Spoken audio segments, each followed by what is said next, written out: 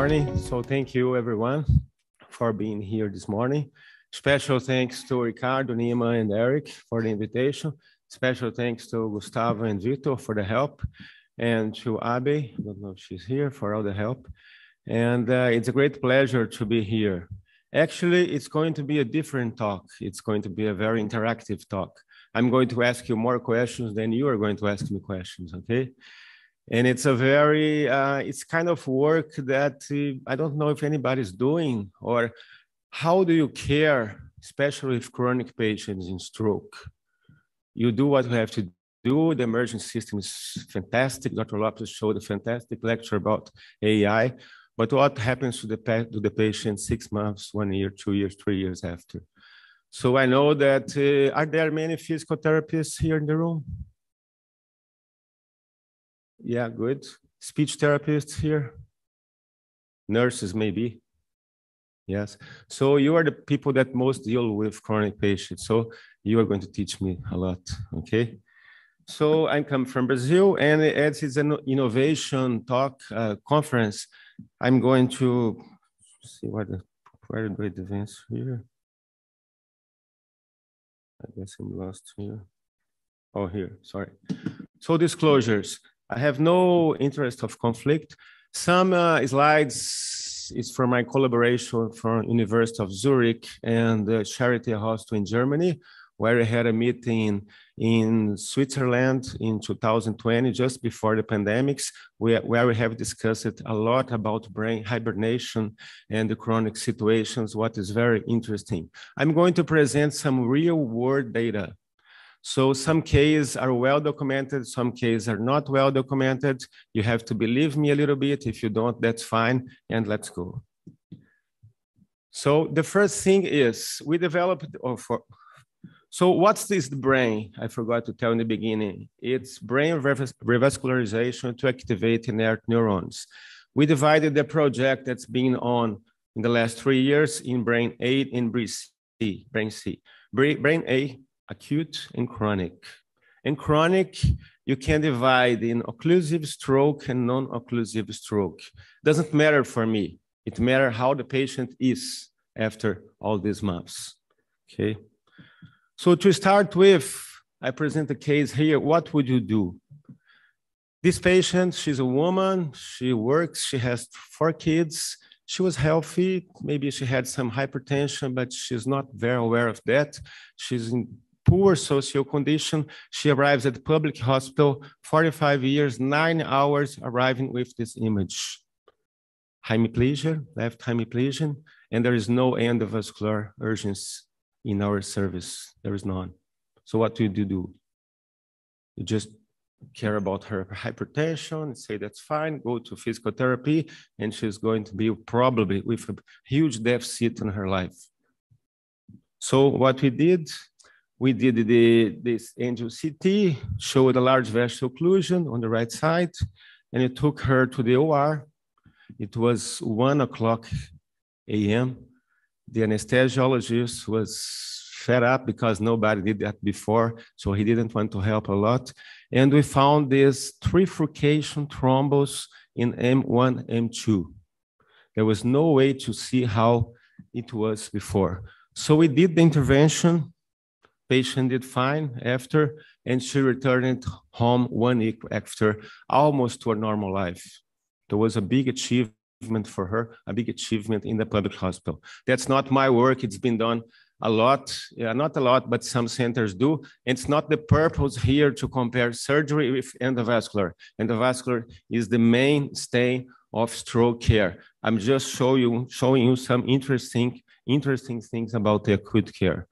So what I'm going to show you now, after doing this case, we went back to the lab, as I'm known for the placenta guy, maybe you know me for the placenta guy. We try to reproduce what we do in a stroke scenario with endovascular and surgery, and we actually published a new technique how to intervene microsurgically in stroke. So first thing we did this, I don't know if, if you ever saw that, how does it look like a stent driver in removing the thrombus? We had a, this natural thrombus in the placenta. We took a stent driver and we forced it through the vessels, see how much force it applied through the vessel. See how, how much thrombus you can, you can have uh, pushed back and how is the vessel after. Did it stop the video? So let's see if it runs. Okay, then then it's didn't stop, but okay. Then I'm, I'm changing, how can we do it microsurgically? How can, if you open it longitudinal, transversely, how big do you need to open? Then we did this and we published this case. I'm going to show you just to, because it's very curious, how do you move the thrombus microsurgically? So you have, have the vessel very and you do two stitches and that's all. Then we got to this situation, real cases. What I want to you to pay attention here, I've, we found that there are two kinds of thrombus that make a huge difference for us. This is the thrombus made of blood clots, let's call it like this. It's a bluish appearance of the external surface of the vessel. You remove it very easy, very quickly. You close it very well. It goes very well. We had a little bit of, not a little bit, we have good success with some patients. Then we move it to this case not, not before moving to this case. We published the 212 technique that is very straightforward. I talked with a lot of, of neurosurgeons around, around the world. How do you do microsurgical thrombectomy? There was no defined standard for, for a pattern to do that. So I published the 212. What's the 212? You make two punctures in the vessel, one puncture, other puncture. You make one cut, transversal, you milk the thrombus out and you put two stitches. And it's a very straightforward procedure. procedure. You need to have a little bit of practice, but the blood uh, starts to flow again in very, very nicely. So that was very nice. We almost saved, you can't say saved some patients' lives. But then we have this situation. What's the difference here?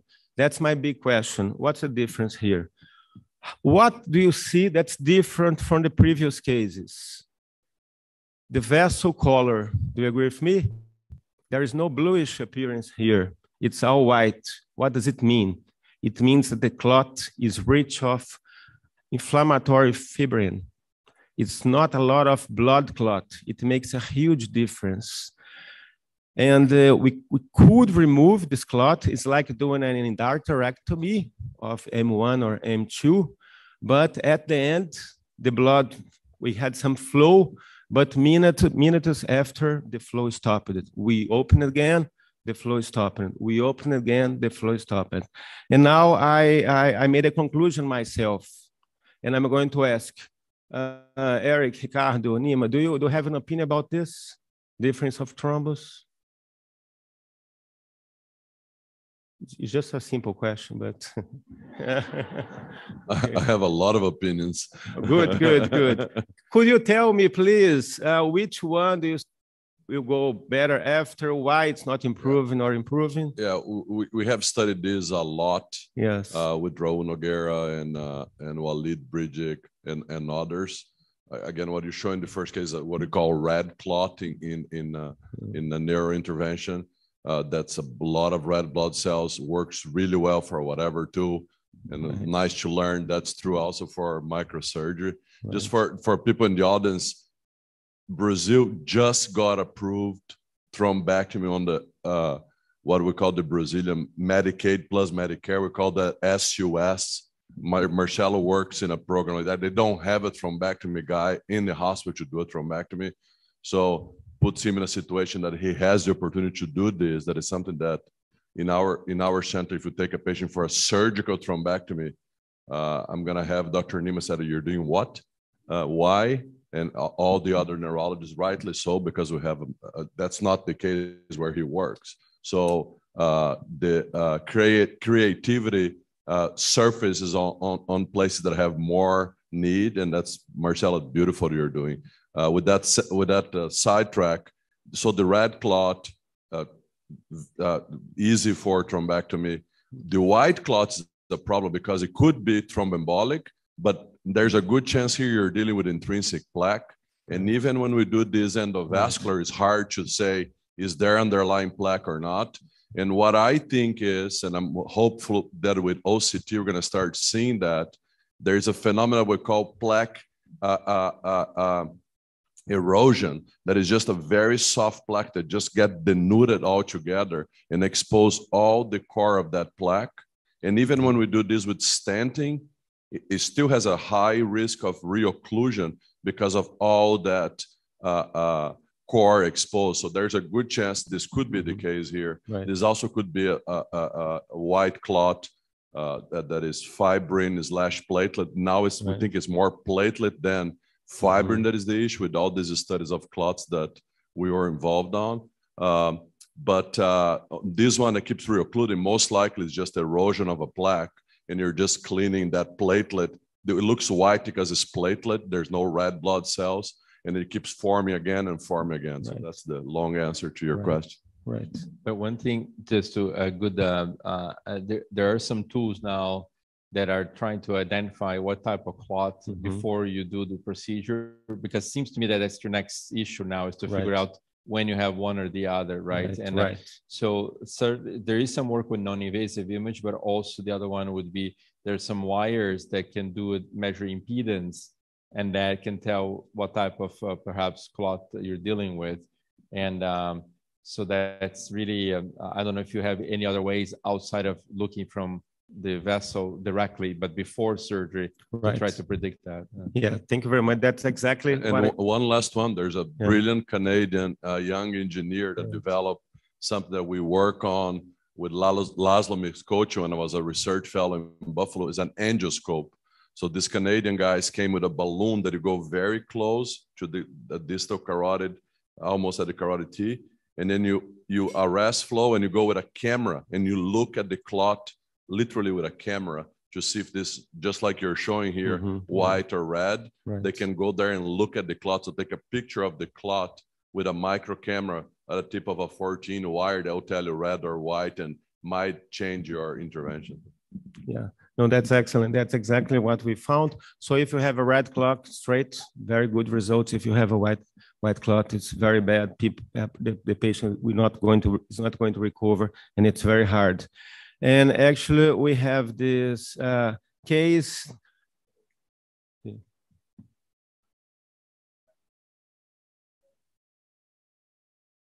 You can have Ricardo doing the surgery from here yeah, down right. there. So that I think that would be the way. You don't need aspiration. I will show you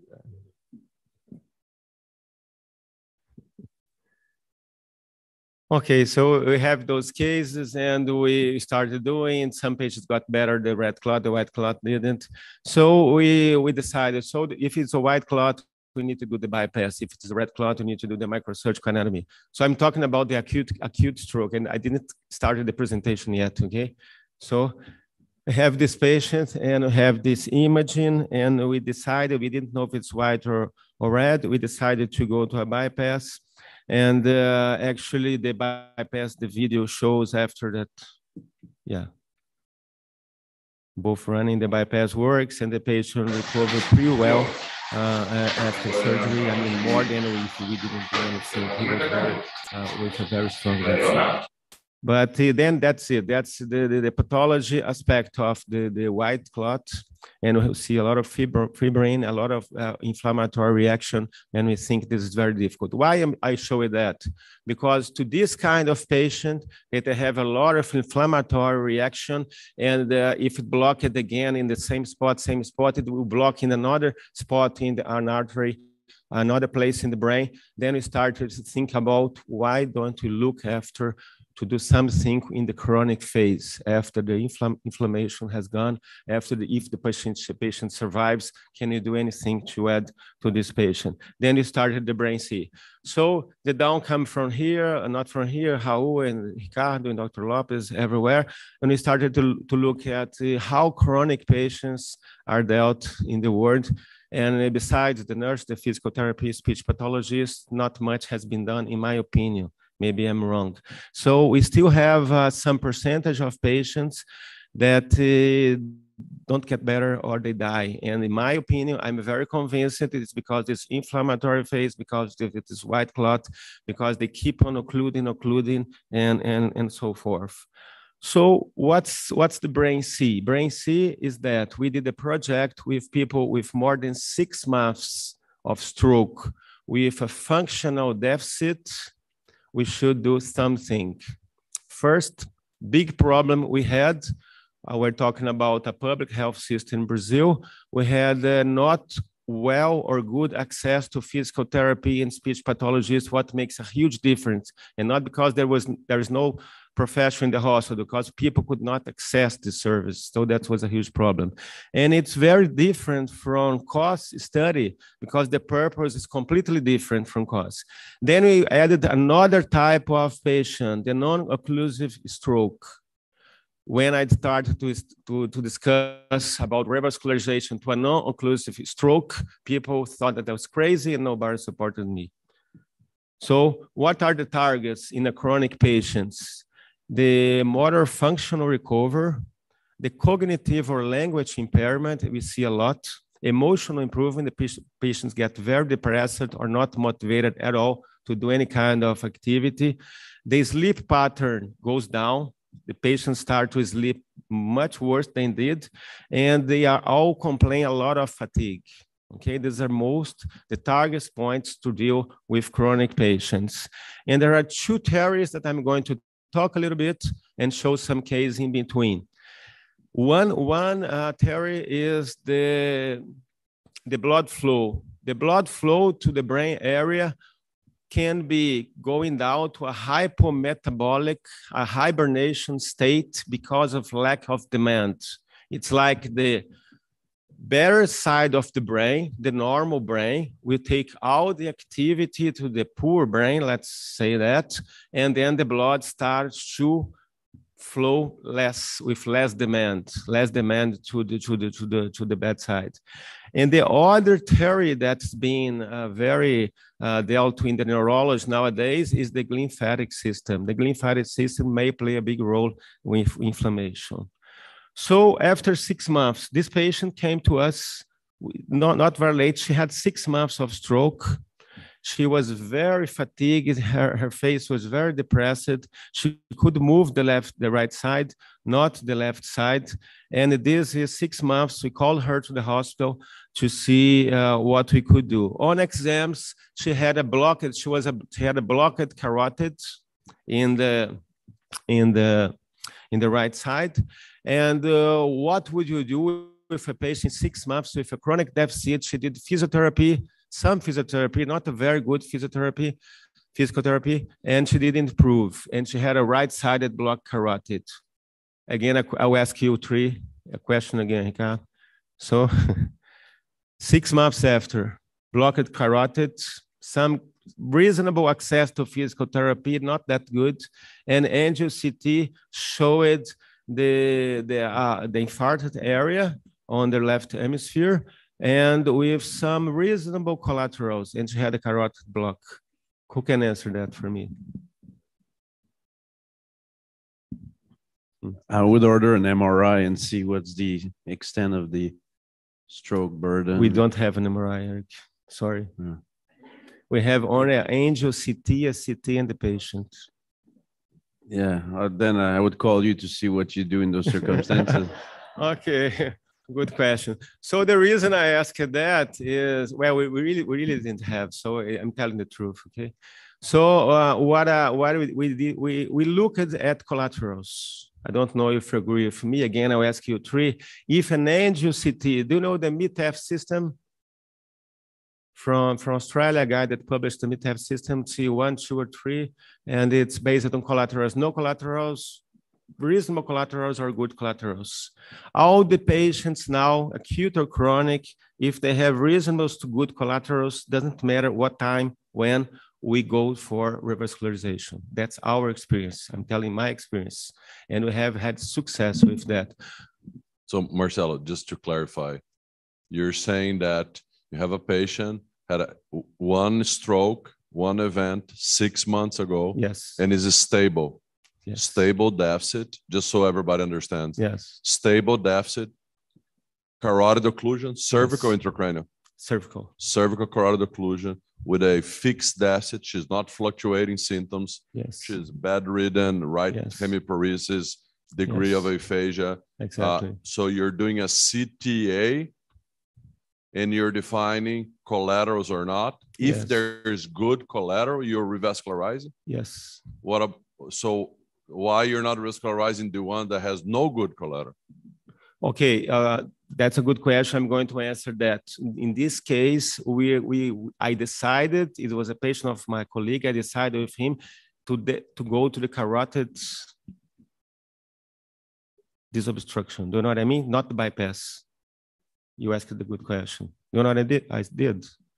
The carotid was occluded Mhm.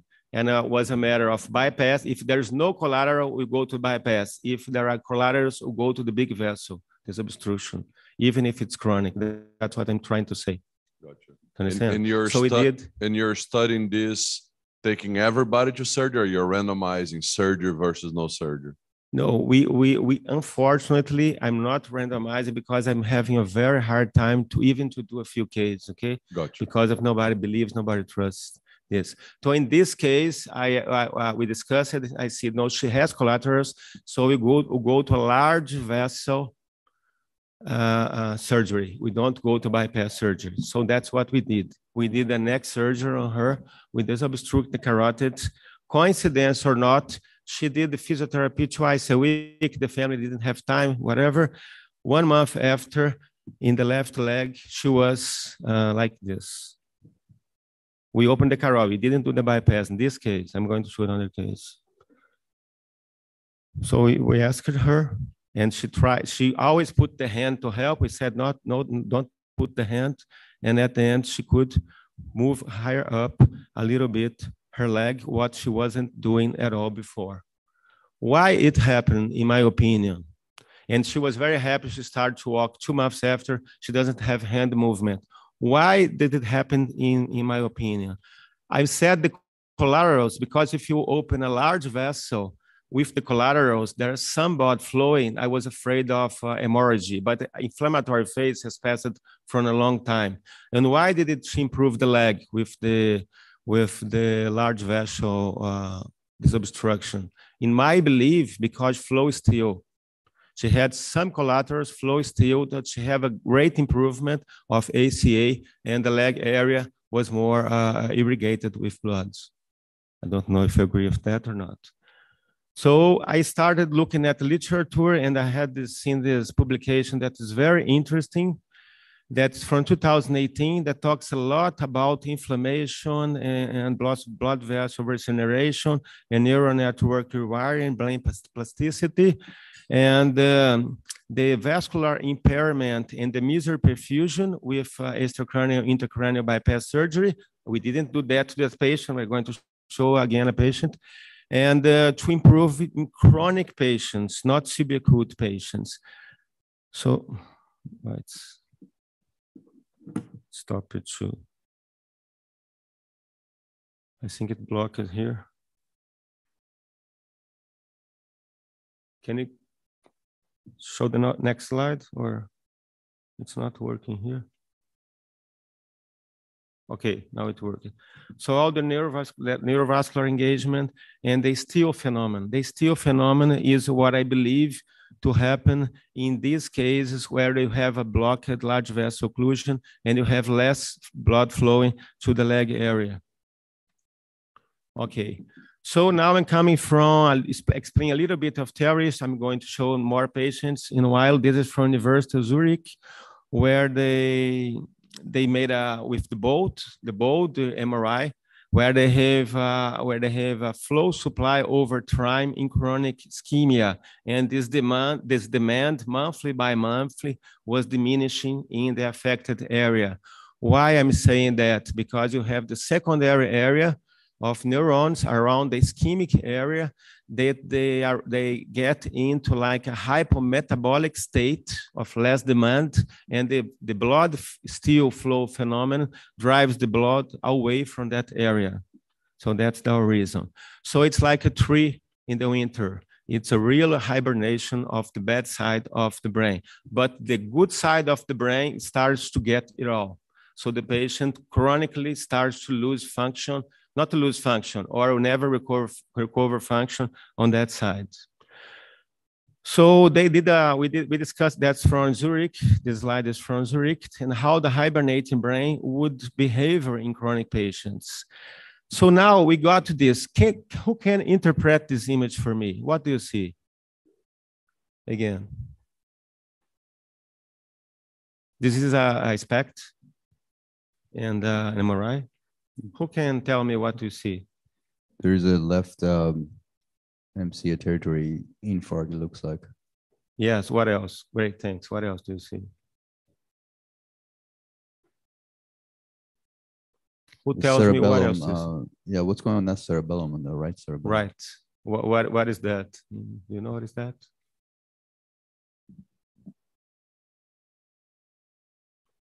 What's happening with the cerebellum here? Uh, There's a phenomenon called diaschisis Yes. that you can see that on perfusion imaging.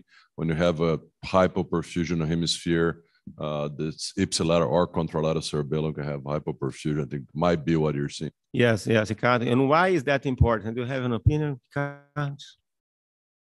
No. Does anyone have an opinion about why I'm showing that? Why the diaschisis, cerebellar diaschisis in this patient, that's a chronic pa- patient, has an important im- importance in recovery?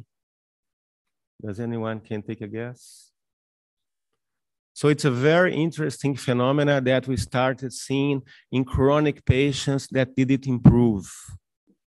And we, we found a lot of work being done with that from Germany and from Switzerland. And actually, what happens, a lot of uh, that's the bold MRI. And every time you, you get a ischemic deficit in the cortex, uh, you the cerebellum, the contralateral cerebellum starts to diminish function. And this function that's diminished, that, that's reducing, impairs the recovery of the motor cortex. So it's not only a matter of uh, cortex motricity, it's a matter also of cerebellar control, cerebellar control. And how I'm saying, why I'm saying that, because I'm going to discuss this a little after.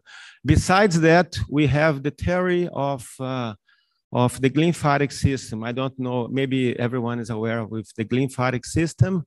So the theory with the glymphatic system, with this reduced blood flow, reduced cell activity in this hemisphere, we have a lot of accumulation of metabolic waste around the vessels. So even if you don't have an occlusion in the vessel, the neurons that are around it get less function. And that's the glymphatic pathway.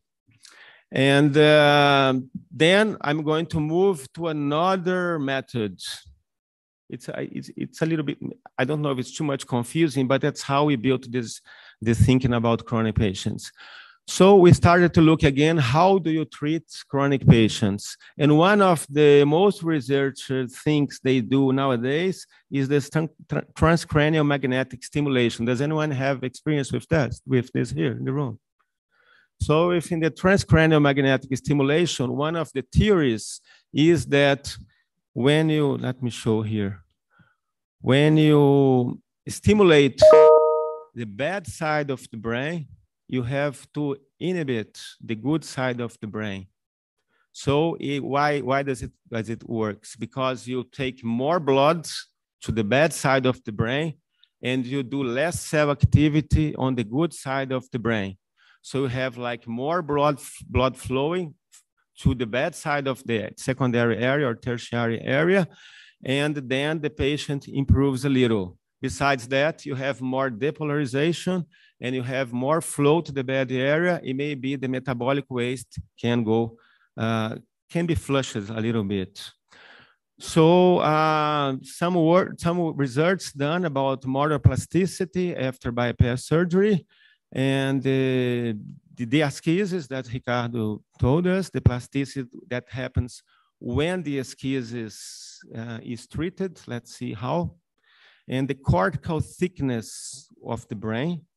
I'm passing I'm passing here and always, and now the NOVA. The NOVA shows very well what the bold has shown, that the flow diminishes substantially in um, some months after surgery in the affected side of the brain.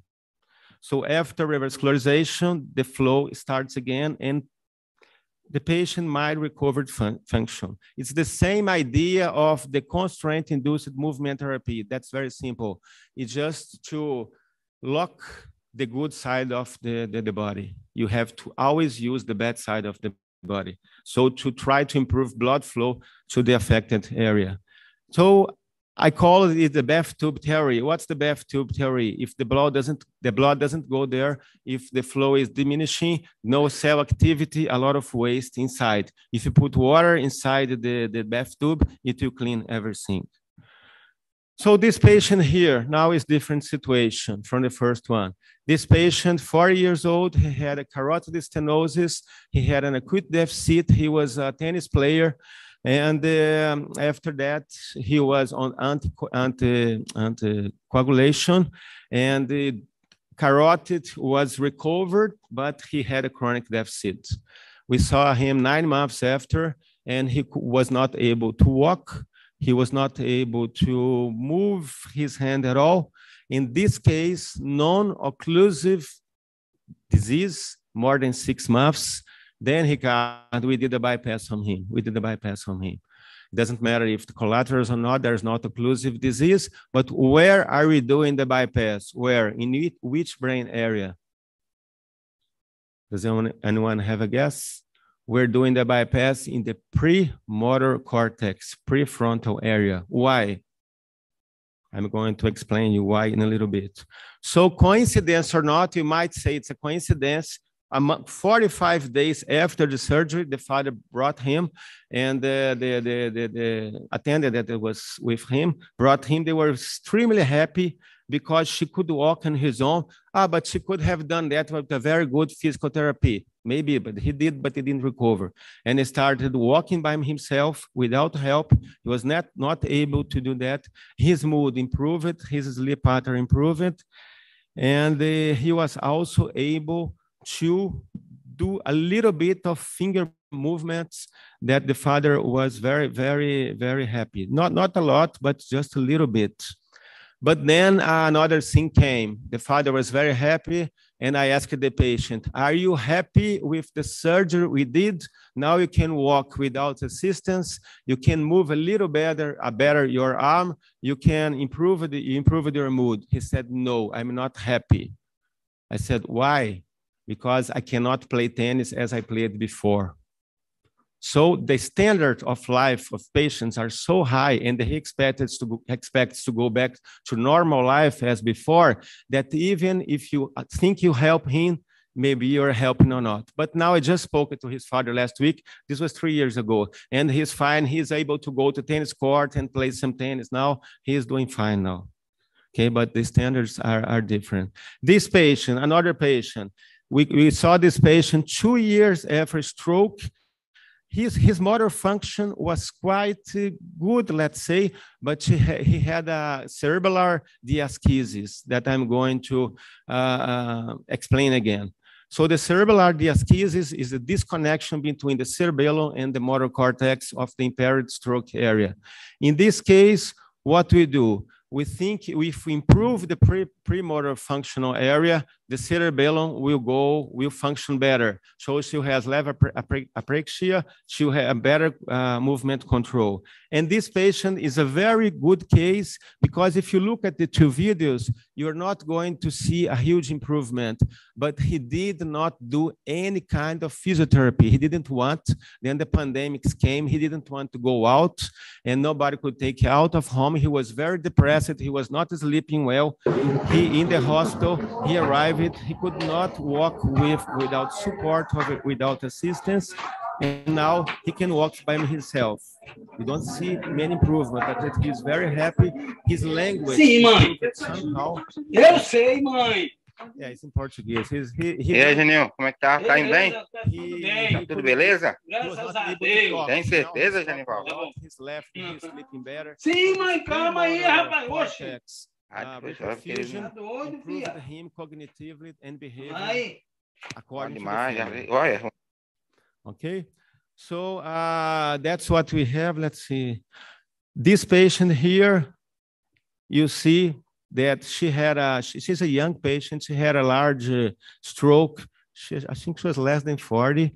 and she was very impaired. This is a very, very chronic patient. About five years after she came, we, we did this perfusion image, very bad perfusion, and she went to, to prefrontal revascularization to the prefrontal area.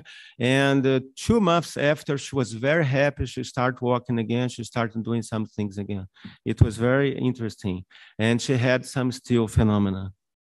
Uh, this is another example of the aschiasis.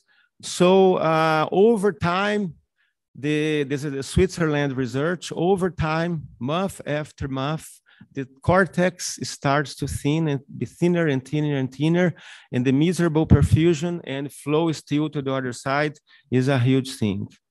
So there are a lot of interpretation about this data, but we all agree now, we, we people that work with this, that hibernation is what happens with the secondary tertiary area around the ischemic area. So